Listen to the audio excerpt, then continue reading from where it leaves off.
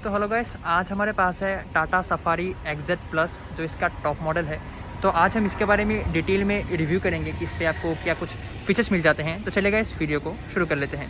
तो पहले तो मैं आपको इसका की दिखाना चाहता हूँ। तो इस पर आपको ऐसा की मिलता है जहाँ पर आपको लॉक अनलॉक ये फॉलो में हेडलैम्प और ये बूट अनलॉक करने का जो बटन है, वो आपको यहाँ पे मिल जाता है। तो यहाँ पे आपको दो किस मिलते हैं, दोनों ही आपको ऐसा वाला की आपको यहाँ पे मिल जाता है। तो फ्रंट से बात करते हैं। तो फ्रंट का लुक आप लोग यहाँ से ले सकते हो।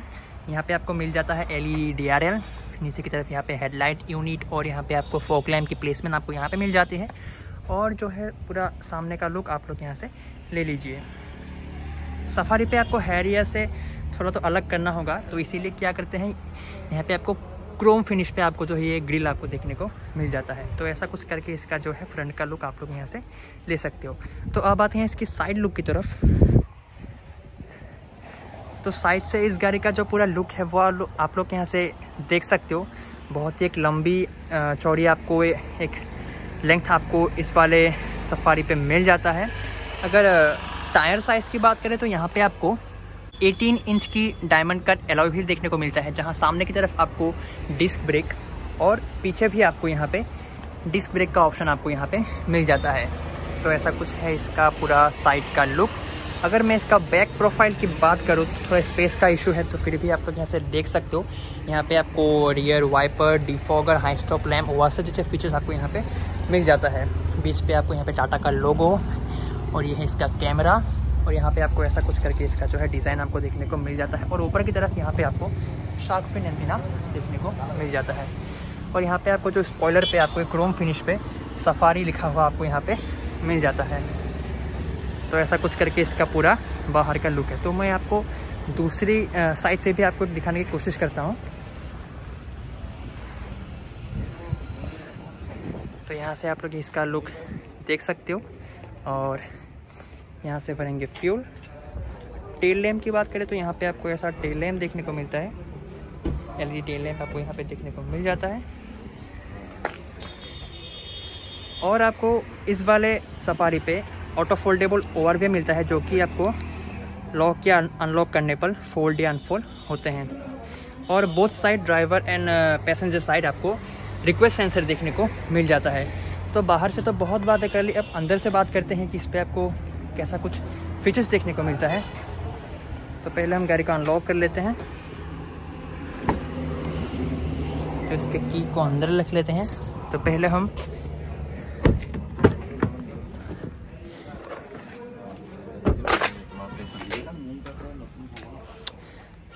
तो पहले हम इसके रियर सीट से शुरू करते हैं। रियर डोर की बात करें तो यहाँ पे आपको ऐसा कुछ करके इसका डोर का लुक मिलता है, जहाँ पे आपको पावर विंडो कंट्रोल या डोर ओपनर और ऐसा कुछ करके आपको ग्रैप हैंडल देखने को मिलता है। यहाँ पे आपको ट्विटर की प्लेस में मिल जाएगी। नीचे की तरफ़ आए तो यहाँ पे आपको speaker bottle holder magazine space और यहाँ पे भी आपको थोड़ी बहुत स्पेस आपको देखने को मिल जाता है। सीट्स की बात करें तो यहाँ पे आपको दो कैप्टन सीट्स देखने को मिल जाता है। और रियर सीट की बात करें तो यहाँ पे आपको 50-50 स्प्लिट सीट आपको यहाँ पे देखने को मिल जाता है, जो कि पीछे भी आपको एडजस्टेबल हेडरेस आपको देखने को मिल जाता है। तो मेरा हाइट है फाइव फीट इलेवन इंच तो उसके हिसाब से मैं आपको दिखा देता हूँ कि पीछे आपको कितना स्पेस आपको ऑफ़र किया जाता है।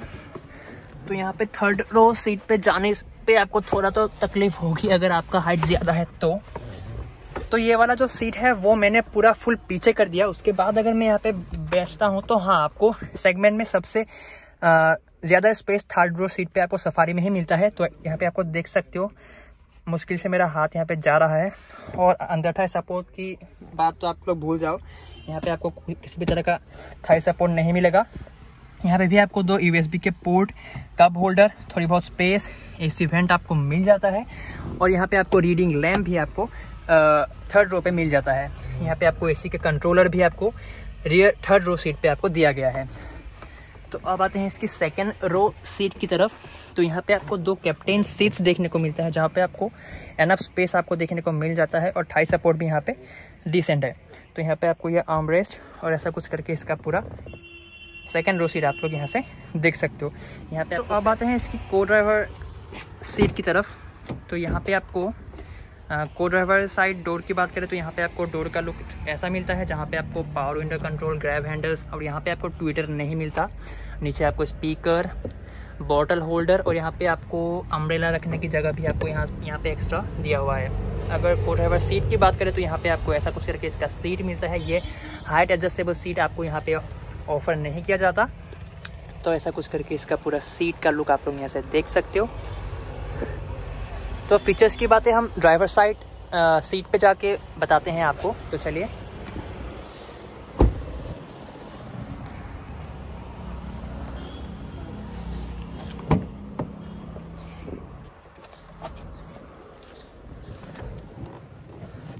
तो पहले हम कर लेते हैं गाड़ी को ऑन क्योंकि यहाँ पे बहुत ही ज़्यादा गर्मी है।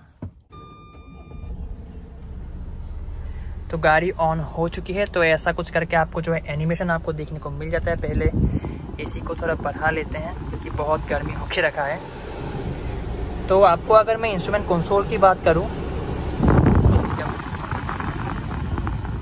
इंस्ट्रूमेंट कंसोल की बात करें तो यहाँ पे आपको ऐसा कुछ करके इसके इंस्ट्रूमेंट कंसोल देखने को मिलता है, जहाँ पे इस तरफ़ आपको टेकोमीटर यहाँ पे आपको स्पीडोमीटर और बीच पे आपको एक एमआईडी देखने को मिलता है, जहाँ पे आपको बहुत सारे आपको इन्फॉर्मेशन आपको यहाँ पे मिल जाते हैं। स्टेयरिंग व्हील की बात करें तो यहाँ पे आपको मीडिया कंट्रोल यहाँ पे सारे क्रूज क्रूज कंट्रोल आपको यहाँ पे देखने को मिल जाता है। आपको एक अच्छा फीडबैक मिलेगा जब आप स्टेयरिंग को पकड़ते हो तो आपको एक अच्छा फीडबैक आपको यहाँ से ज़रूर से मिलता है। यहाँ पे आपको वाइपर कंट्रोल्स यहाँ पे सारे हेडलाइट कंट्रोल्स और ये है इसका एसी वेंट और यहाँ से ही आपको जो है ओ आर को आप लोग फोल्ड अनफोल्ड कर सकते हो। आप लोग यहाँ से एडजस्ट आपको इलेक्ट्रिकली एडजस्टेबल आपको ओआरवीएम आपको देखने को मिल जाता है। यहाँ पे आपको सारे पावर विंडो कंट्रोल ये है इसका डोर ओपनर और ऐसा कुछ करके इसका जो है पूरा लुक आप लोग यहाँ से डैशबोर्ड का ले सकते हो। यहाँ पे आपको ये इंफोटेनमेंट सिस्टम देखने को मिलता है। यहाँ पे आपको ऑटोमेटिक क्लाइमेट कंट्रोल एसी और ये है इसका ऑटोमेटिक ट्रांसमिशन मैनुअल में भी अवेलेबल है। और यहाँ पे आपको तीन ऑप्शन आपको देखने को मिल हिल डिसेंट कंट्रोल भी आपको इस वाले वेरियंट पे आपको मिल जाता है। इसका इलेक्ट्रॉनिक हैंड ब्रेक यहाँ पे आपको मिल जाता है कब होल्डर आपको यहाँ पे एक आर्म रेस्ट भी देखने को मिलता है जिसके अंदर आपको आ, आपको डिसेंट स्पेस आपको यहाँ पे मिल जाता है और यहाँ पे आपको 12 वोल्ट का जो है पावर आउटलेट और यहाँ पे आपको दो यूएसबी सॉकेट भी आपको देखने को मिल जाता है। और यहाँ पे भी आपको थोड़ी बहुत स्पेस आपको देखने को मिल जाता है। तो पूरा डैशबोर्ड का जो लुक है वो आप लोग यहाँ से एक बार ले लीजिए। और ऊपर ये है इसका आई जो कि ऑटोमेटिक है। अगर सनसेट की बात करें तो यहाँ पे आपको प्लेन मिलता है। कोई भी मिरर वगैरह आपको नहीं मिलता। और अगर हम लोग को ड्राइवर साइड की बात करें तो यहाँ पे आपको एक मिरर मिल जाता है लाइट के साथ। तो सीट को पहले हम थोड़ा पीछे कर लेते हैं। यहाँ पे एक अच्छी बात यह है कि आपको यहाँ पे इलेक्ट्रॉनिकली एडजस्टेबल आपको सीट्स देखने को मिलता है और यहाँ पे आपको एक अच्छी बात और यह है कि यहाँ पे आपको सनरूफ भी देखने को मिलता है, जो कि अभी मैं आपको खोल कर दिखाता हूँ। तो पहले जो है इसका हम लोग शेड ओपन करते हैं। तो ये देख सकते हो, एक बहुत ही बड़ा आपको पैनोरामिक सनरूफ आपको सफारी में देखने को मिल जाता है। और उसके बाद अब मैं इसका जो है ऊपर का ये ओपन कर देता हूँ। तो आप लोग यहाँ पे देख सकते हो कि एक बहुत ही एरिया जो है ये कवर कर देता है। आप लोग देख सकते हो, बहुत ही मतलब बहुत ही एरिनेस वाली फीलिंग आपको यहाँ पे आने वाली है। तो इसको पहले ऑफ़ कर लेते हैं। इसका साउंड भी आप लोग सुन सकते हो, बहुत एक सेटिस्फाइंग साउंड मुझे लगता है इसका। और इसका जो सेट है, उसको भी मैं यहाँ पे ला देता हूँ।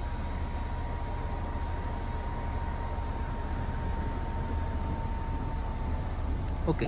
तो सनरूफ भी मैंने आप लोग को दिखा दिया। तो ओवरऑल जो है Tata Safari XZ plus variant दिखने में कैसा है, इस पर आपको क्या कुछ फीचर्स मिल जाते हैं तो उसके बारे में आपको ज़रूर से पता चल गया होगा। और अगर आपको ये वीडियो पसंद आए तो वीडियो को लाइक ज़रूर कर देना। और ऐसे ही वीडियोस अगर आपको और देखने हैं तो हमारे चैनल को ज़रूर से सब्सक्राइब भी कर देना। तो चले गए मिलते हैं नेक्स्ट वीडियो पे।